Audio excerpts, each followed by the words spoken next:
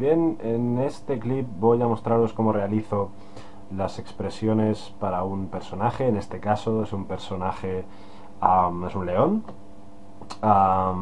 y en lo que quiero que os fijéis es primero en cómo procuro mantener en cada una de las expresiones el carácter de este personaje. ¿De acuerdo? Voy a dibujarlo, como iréis viendo, enfadado, riendo, sorprendido. Intento en todas estas expresiones, como os digo, que mantenga ese carácter que pretendo que tenga este personaje. Es un carácter, como veis por la, por la primera expresión, orgulloso, mm, león, ¿no? Digamos. Em, también quiero que os fijéis en cómo utilizo eh, la, extensión y la compresión de, de los volúmenes y siempre procuro que se mantengan los mismos volúmenes eh, aunque se estire eh, y, se, y, se, estreche y se compriman las distintas partes eh, de la cabeza, de la parte inferior, por supuesto, siempre, mm, procuro que los volúmenes sean siempre los mismos. En este momento, como podéis ver, esta expresión de enfado es especialmente exagerada la compresión. Eh, coloco, como veis, un poco...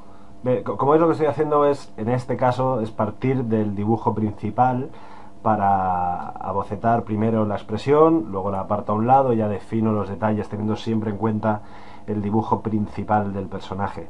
Eh, procuro por eso que la, la, parte superior, como digo, no se modifique, las orejas sí que las utilizo para dar a potencia la expresión que quiera conseguir, en este caso están un poco más bajas, es una expresión de enfado, y voy definiendo luego, luego los detalles.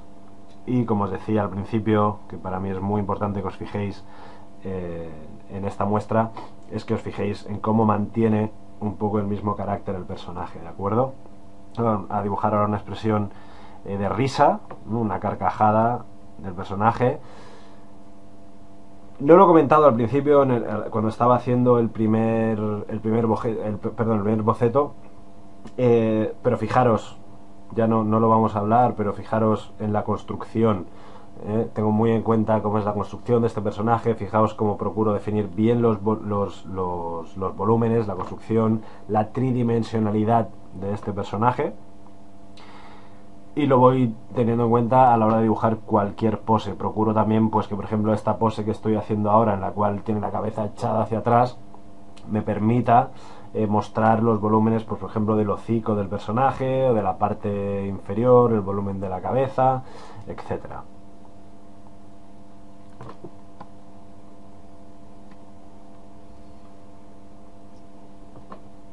Voy a recolocar, voy a hacer una última pose más, pero una última expresión más, que va a ser una expresión de sorpresa, una vez más, pues como veréis, partiendo del dibujo principal de este personaje.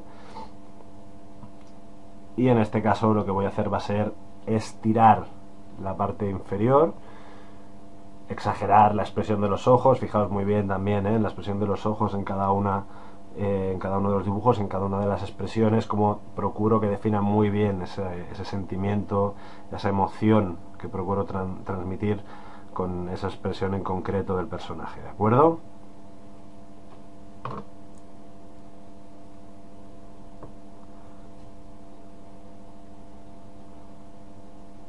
Unos últimos toques más, lo coloco y aquí lo tenéis.